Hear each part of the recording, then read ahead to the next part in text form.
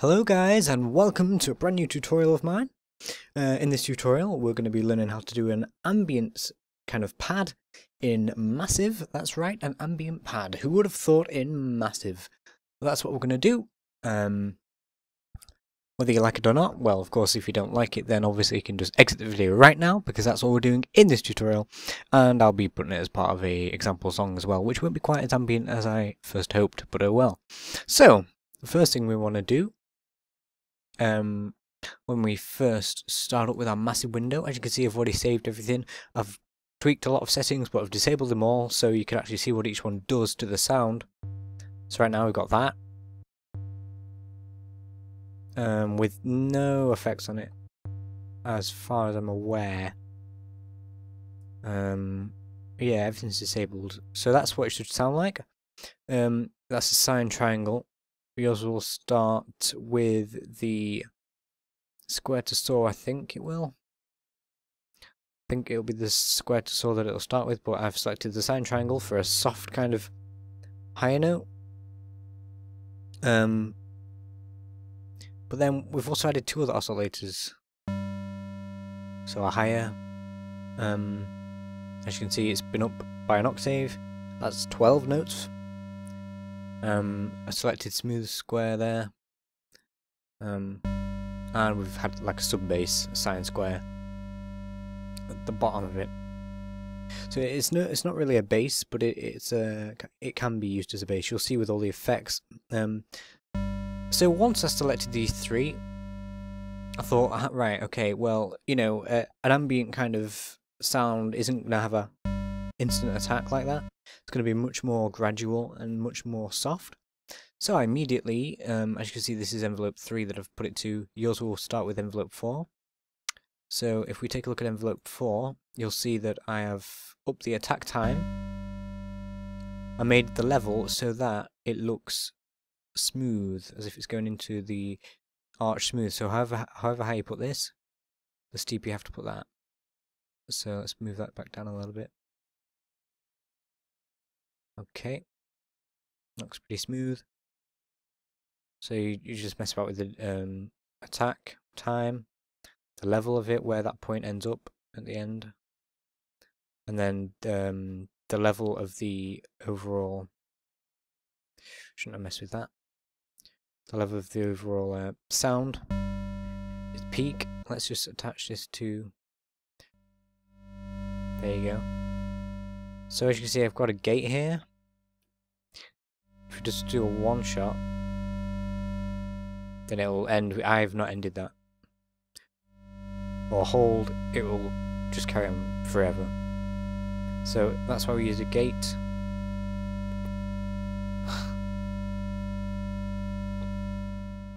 Alright, press. If you ever go on to hold and then it carries on, and then you go, you want to go back to gate and it's not ending, just uh, just press the same key again. Um, let's see if there's any presets in here. I don't usually use those, never have.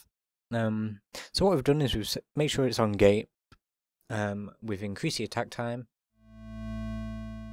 Uh, the level we've just evened out with how loud we want the final, the peak of the sound to be, which we've determined there. And also we've messed with this release. We've made the release very high. So it fades off very slowly. Um, but we wanted to add to that. We wanted to add to the atmospheric, you know, kind of um, sound of it. So we've added a reverb here. Very simple. Reverb. Um, and as you can see, the dry wet. And I put it quite high because I want that kind of distortion, that electronic kind of razor kind of sound. Okay, then we've added the sync delay. Made it very wet indeed. I like that because it's a soft sound. You can't hear a clear repeat of the note like dun dun dun dun. It's more of a dun. So that's why I've turned up that quite high because I, I, was aware that it wouldn't be very clear. It wouldn't, you know, it would it would need to be quite high to compensate for that. Um, yeah, and you can see my settings there. Made one of them eight, one of them four. This is the tempo, the the amount of time it takes to repeat so like or dun dun dun dun, which would be four, one, two, three, four, and yeah, you get the picture. The left and right. That has for a more kind of stuttered kind of echo, which I like. It's more, um, it has more atmosphere to it. I'll show you. Well, I'll show you in some of the tutorials how cool that can be. And then we've just messed with the EQ. We've just boosted the low shelf, the bass, by a small amount and turned down the high shelf just a tidge and uh, maybe that was just me messing about and trying to reset it. I'm not sure but it seems to work well. Now, we further changed the sound of the sound wave by going on the sample and hold, put it on max, really makes it a bit harsher, because even though it is soft, it's meant to be like a quite a powerful thing, it's a robotic angel, as you can, as you can see I've called it. And also a high pass low pass filter, which you might not be able to, yeah, yeah these are at max each end but they can be useful. Uh, I put that on just to experiment. Not really necessarily there. Um, for some other kind of acoustics to add to it to make it sound more cool, really. Added some noise, high metallic. So it's more atmosphere to it now. And some feedback. Which is very subtle. So I'm not sure how it's sounding for you right now. It's actually clipping a little bit for me. That should be okay. Um, but yeah, the bass in it is quite nice. Um, maybe too high for some devices, as my friends have been telling me lately. But for me, it, it sounds awesome and epic. Um, so that's what we've got so far. But we wanted to make it evolve as well. And so to make it evolve, what we're going to do is we're going to use some LFOs. Um, so we've got the 5 LFO here set to every four, you know, it'll take four beats for the um, the LFO wave to complete. So we've synced it up immediately. That means you don't have to mess with this rate. You can just know exactly when it's going to repeat. And restart just means when you press a new note, the wave gets restarted, which is better for performance. No, it's better for um, when you're recording, but for performance, if you're not very accurate with your notes, it might sound a bit weird. So you, you turn that off so it just continues. I'll just demonstrate with with the LFO on.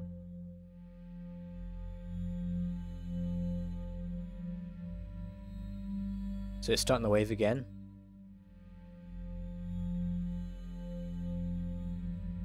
It's hard to explain with something like this, but it it basically means that you know you can't screw up, say with a pattern if you got it on the stepper. Then if you select it uh, not to restart, then it'll just continue the pattern. It won't seem to jutter. Um, but both of those are on, so we're going to keep them like that. So this is just a very basic curve. And as you can see, I mean, some of you may not have seen my massive tutorials. If you haven't, go here. But if you have, then you know that all you have to do is drag this, just click this arrow and direct it onto there, like that. And then just click the 5 and drag up and down to select how much it affects the um, the cutoff so that's the bottom point and that's a peak. Well, they're both peaks, but yeah. For example, that's the bottom point and then at the peak it'll be there, which will be the other side, and the middle is, of course, that part. Um, which, which makes it evolve. That's just a low pass 4 there. And we've got a second filter here, which is Scream quite high resonance and a bit of scream there. Done the same with 6. But we haven't made it too dramatic because it was quite dramatic.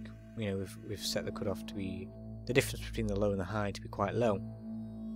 And with the only difference between these two different ones and why it might sound not completely in sync with all different changes is because we've set the ratio to 2 to 1, which means every 2 beats that repeats, whereas every 4 beats that repeats. I think it's bars actually. My mistake. Um, as you can see, I have tinkered with the position of these so they're not very precise anymore. Which is a great shame. Um, that looks pretty good. Probably not the answer um, I should be giving, but yeah. that looks about right. so, that's how we've designed this sound. we got any external... Yeah, we do have some Do you have any? No, we don't, we don't have any effects on it. Okay, that's good. That would have been kind of embarrassing if I put loads of effects from the mixer in it and you're like, why doesn't it sound the same? But no, completely clear the mixer. No external reverb, no um, parametric EQ, nothing like that. So this is why I like Massive. It can be kind of a can be kind of diverse. Let's try some of the high notes.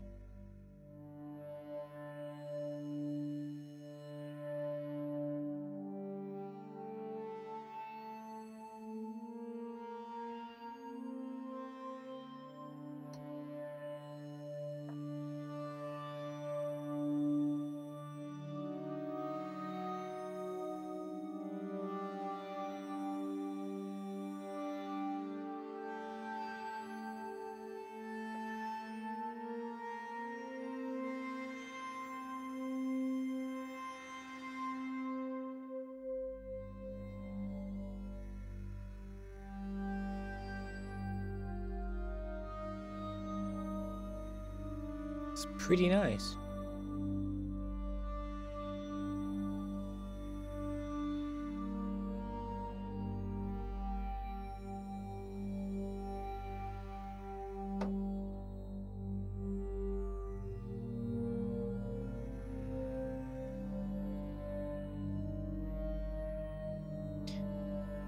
So, all that's left to do now is think of a name for your um, custom-made massive preset, that's right. No longer rely on those presets that come with it. Why? Why? Be original, come on. What's left is to think of a name for that. Set your attributes, I've set it to soundscapes, electric, could be digital, whatever. Um, set the timbre to warm and metallic at the same time, that's right, warm metal, problem. Set the articulation to slow attack, long release, long and evolving, and tempo synced, because we've synced it as you saw before and the genre is film music just because uh, it's it's the most fitting one. Here I should should have said my name, but okay. Um, blah blah blah blah blah. Bank name, FK me. that is just something I just came off, came up with. Um, might be the name of my massive bank when I release it, if I do, if anyone wants it. Um, so yeah, uh, oh, one more thing, don't forget to compensate if you're going to boost your bass. You might want to... Uh, that is turned down really low actually. Even with all those notes, it, I don't know why it's clipping before. It's very weird.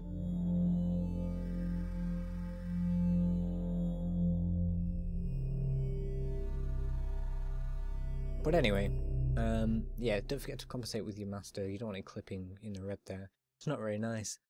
Um, but yeah, so you set your attributes. Uh, there's nothing really I want to edit over time with this, like there is with LFOs and stuff. So there's no macros I'm going to assign. It's pretty much done. I like it. Um, and yeah, so you just go ahead and save as, save what you want to save it. Um, and these are all my presets that I've been building up slowly over time. There's different versions of them because uh, yeah, I like different things about them, altered them slightly. So yeah guys, thanks for watching this tutorial. Let me know if it helped you out. Let me know if you want any more, any different styles of instruments or sounds that you want me to try and create in Massive. I will. I will be doing more of these anyway, because I thought it'd be quite useful.